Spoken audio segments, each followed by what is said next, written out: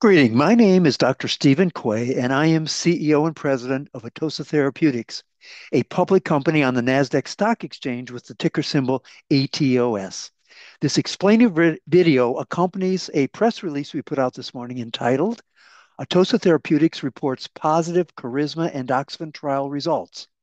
Z-endoxifen shown to significantly reduce mammographic breast density, potentially paving the way for innovative cancer prevention strategies. Now, I'll be making forward-looking statements today, and so you should review all of our filings with the SEC before making any investment decisions. So as a reminder of what mammographic breast density reduction looks like, this slide shows the results from a KARISMA 1 tamoxifen trial. In the first panel on the left, you see the breast density in white before tamoxifen. At three months after tamoxifen, you see that the density has been reduced, and it's further reduced at six months. Uh, we are reserving the right to show these images from the endoxifen trial for the San Antonio meeting uh, in December of this year. So let's go through the study highlights. The Atossa-sponsored ATOS 016R prevention trial included healthy women randomized to daily placebo, 1 and 2 milligrams of Z-endoxifen. There were 80 women in each arm, and the treatment was for six months. Mammographic breast density decrease was used as a proxy for therapy response. Measurements at six months or early terminations were compared to baseline density.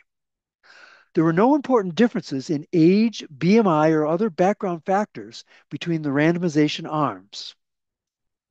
The significant relative density change was minus 19.3% and minus 26.5% for the 1 and 2 milligram arms, respectively, using the placebo arm as the reference.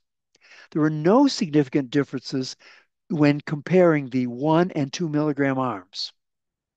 In a 2011 study, Women with breast density decreases of 10% or greater after taking tamoxifen for one year had a 62% reduction in breast cancer incidence after five years. In our study, there were no changes in hematological safety tests or vital signs. The mean endoxifen plasma concentration was 5.18 nanograms per ml in the 1 milligram arm and 10.87 nanograms per ml in the 2 milligram arm after one month of therapy. Plasma concentration stayed the same at three and six months. The number of women that discontinued because of side effects related to the drug were 4, 5, and 12 in the placebo 1 and 2 milligram arms, respectively. Vasomotor symptoms were not reported as a reason for discontinuation. A validated questionnaire, including 36 questions and a five graded Likert scale, was used for self assessment of symptoms. Only vasomotor symptoms, night and cold sweats, and hot flushes increased during the study period in the active arms, but not substantially. The mean change was 1.4 on a 10 point scale. We are thrilled with the top-line results from the KARISMA endoxifen phase II trial with Z-endoxifen and heartened by the idea that this work may someday lead us to a preventive approach to breast cancer.